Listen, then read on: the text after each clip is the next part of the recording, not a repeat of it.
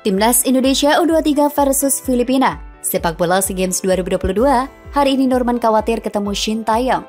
Hari ini 13 Mei 2022 dalam sepak bola SEA Games 2022 akan terjadi partai hidup dan mati antara Timnas Indonesia U23 dengan pelatih Shin Taeyong versus Timnas Filipina U23 dengan pelatih Norman Figueroa.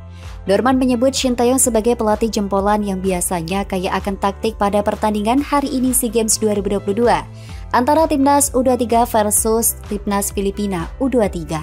Timnas Indonesia U23 akan menghadapi Timnas Filipina U23 di lanjut Grup A SEA Games 2021, Jumat 13 Mei 2022 pukul 16 waktu Indonesia Barat di Stadion Fitri Porto. Kemenangan menjadi harga mati bagi Timnas Indonesia U23 jika ingin berjuang mendapatkan tiket semifinal SEA Games 2022.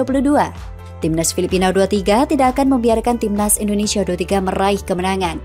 Pasalnya, Norman Figueroa sudah menjanjikan pasukan akan menghadirkan kejutan untuk memenangkan pertandingan sepak bola SEA Games 2022 hari ini, 13 Mei 2022 pukul 16 waktu Indonesia Barat. Namun, Norman Figueroa sedikit dibuat khawatir tentang permainan apa yang akan dilancarkan oleh Timnas Indonesia U23.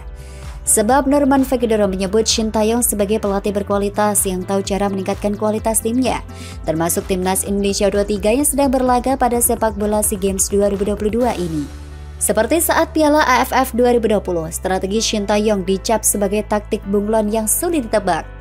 Bermodalkan pemain muda, akhirnya timnas Indonesia 23 melaju ke final Piala AFF 2020. Kendati begitu, timnas Indonesia 23 tak boleh memandang remeh kepada timnas Filipina karena kesalahan kecil akan berakibat fatal. Pelatih asal Korea Selatan Shin Tae-yong menegaskan timnas Indonesia 23 harus menang di dua pertandingan pada SEA Games 2022. Susunan pemain timnas Indonesia 23 diprediksi tidak akan banyak berubah dari pertandingan kontra Timor Leste.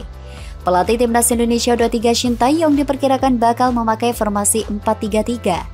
Perubahan mungkin terjadi di posisi bek kanan dan kiri. Jika sebelumnya Rio Fahmi dan Alvendra Dewanggari yang main, Kinas Nawi Mengkolam dan Firza Andika yang akan tampil.